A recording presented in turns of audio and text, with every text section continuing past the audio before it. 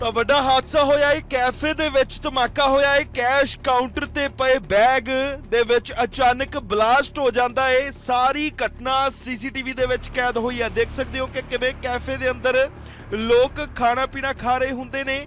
Kitchen ਦੇ ਵਿੱਚ ਜਿਹੜੇ ਕੈਫੇ ਦੇ ਵਰਕਰ ਨੇ, ਉਹ ਆ ਖਾਣਾ ਬਣਾ ਰਹੇ ਹੁੰਦੇ ਨੇ। ਸਾਫ਼-ਸਾਫ਼ ਦੇਖਿਆ ਜਾ ਸਕਦਾ ਹੈ ਕਿ ਨਾ ਹੀ ਕੋਈ ਸਿਲੰਡਰ ਫਟਿਆ ਹੈ ਤੇ ਨਾ ਹੀ ਕਿਸੇ ਗੈਸ ਪਾਈਪਲਾਈਨ ਦੇ ਵਿੱਚ ਬਲਾਸਟ ਹੋਇਆ ਏ। ਮੌਕੇ ਤੇ ਫੋਰੈਂਸਿਕ ਟੀਮਾਂ ਪਹੁੰਚੀਆਂ ਨੇ। ਉਹ ਬੈਗ ਦੀ ਜਾਂਚ ਕੀਤੀ ਜਾ ਰਹੀ ਹੈ, ਜਿਸ ਦੇ ਵਿੱਚੋਂ ਧਮਾਕਾ ਹੋਇਆ, ਜਿਹੜਾ ਕਿ ਕੈਸ਼ ਕਾਊਂਟਰ ਤੇ ਰੱਖਿਆ ਹੋਇਆ ਸੀ। ਆਮ ਲੋਕ ਜਿਹੜੇ ਸਨ, ਰੋਜ਼ਮਰਰਾ ਦੀ ਜ਼ਿੰਦਗੀ ਦੇ ਵਾਂਗ ਉੱਥੇ ਬੈਠ ਖਾਣਾ ਖਾ ਰਹੇ ਸੀ। ਤਾਂ ਅਚਾਨਕ ਬਲਾਸਟ ਹੁੰਦਾ ਹੈ, ਜਿਸ ਤੋਂ ਬਾਅਦ ਭਗਦੜ ਮਚ ਜਾਂਦੀ ਹੈ। ਇਸ ਬਲਾਸਟ ਦੇ ਵਿੱਚ ਇੱਕ ਮਹਿਲਾ ਸਮੇਤ 9 ਲੋਕ ਜ਼ਖਮੀ ਹੋਏ ਨੇ।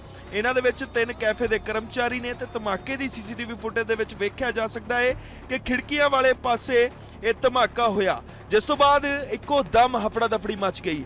ਲੋਕ ਅਤੇ ਰੈਸਟੋਰੈਂਟ ਦਾ ਸਟਾਫ ਬਾਹਰ ਨੂੰ ਭੱਜੇ। ਧਮਾਕੇ ਦੀ ਇਤਲਾਹ ਮਿਲਦਿਆਂ ਹੀ ਪੁਲਿਸ ਅਤੇ ਫੋਰੈਂਸਿਕ ਟੀਮਾਂ ਵੀ ਮੌਕੇ ਤੇ ਪਹੁੰਚੀਆਂ ਨੇ। ਸਬੂਤ ਇਕੱਠੇ ਕੀਤੇ ਜਾ ਰਹੇ ਨੇ ਕਿ ਆਖਰਕਾਰ ਜਿਹੜਾ ਧਮਾਕਾ ਹੋਇਆ ਏ ਇਹ ਬੈਗ ਧਮਾਕੇ ਵਾਲਾ ਕਾਊਂਟਰ ਤੇ ਪਹੁੰਚਿਆ ਕਿਵੇਂ? ਤੇ ਧਮਾਕੇ ਦੇ ਵਿੱਚ ਯੂਜ਼ ਹੋਣ ਵਾਲਾ ਮਟੀਰੀਅਲ ਕਿਹੜਾ ਸੀ? ਕਿਹੜੇ ਬਰੂਦ ਦੇ ਨਾਲ ਧਮਾਕਾ ਹੋਇਆ ਏ? ਤਾਂ ਮੌਕੇ ਤੇ ਦੇਖ ਸਕਦੇ ਹੋ ਕਿ ਕਿਵੇਂ ਭਗਦੜ ਮਚੀ ਹੈ। ਲੋਕ ਇੱਧਰ ਤੋਂ ਉੱਧਰ ਭੱਜ ਰਹੇ ਨੇ। ਤਾਂ ਤਸਵੀਰਾਂ ਦਿਖਾ ਰਹੇ ਹਾਂ ਤੁਹਾਨੂੰ। ਬੰਗਲੌਰ ਦੀਆਂ ਜਿੱਥੇ ਮਸ਼ਹੂਰ ਕੈਫੇ, ਰਮੇਸ਼ਵਰਮ ਕੈਫੇ ਦੇ ਵਿੱਚ ਬੰਬ ਬਲਾਸਟ ਹੋਇਆ ਏ।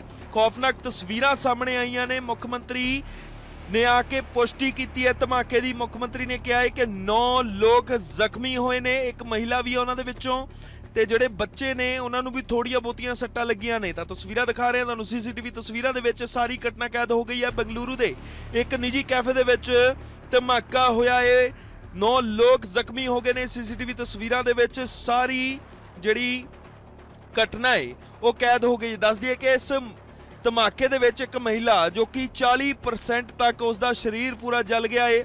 ਉਹਨੂੰ ਸਰਜਰੀ ਦੀ ਜ਼ਰੂਰਤ ਹੈ। ਉਸ ਦੇ ਕੰਨ ਜਿਹੜੇ ਨੇ, ਕੰਨ ਬੁਰੀ ਤਰੀਕੇ ਦੇ ਨਾਲ ਘਾਇਲ ਹੋ ਗਏ ਨੇ। ਤਾਂ ਤਸਵੀਰਾਂ ਦਿਖਾ ਰਹੇ ਹਾਂ। ਤੁਹਾਨੂੰ ਬੰਗਲੁਰੂ ਤੋਂ ਸਾਹਮਣੇ ਆ ਰਹੀਆਂ ਨੇ, ਜਿੱਥੇ ਬੰਬ ਧਮਾਕਾ ਹੋਇਆ ਇੱਕ ਕੈਫੇ ਦੇ ਅੰਦਰ।